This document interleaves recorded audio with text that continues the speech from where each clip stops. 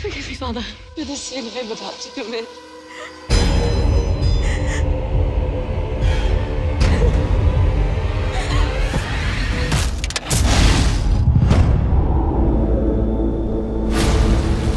One of the things that occurred to all of us early on is they have a superhero universe. Why can't we do that in the horror world?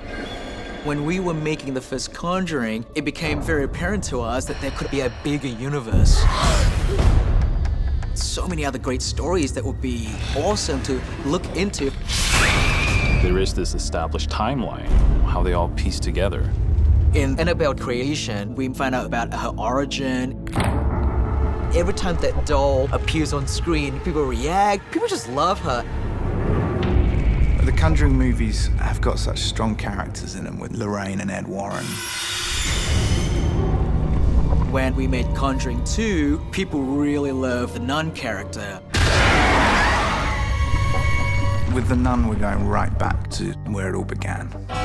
It's the origins of the demonic entity that be haunting the Warrens in Conjuring 2. I thought create something that builds in that Conjuring universe, but is also fresh and unexpected. The scares are different than anything you've seen in the other Conjuring Universe movies.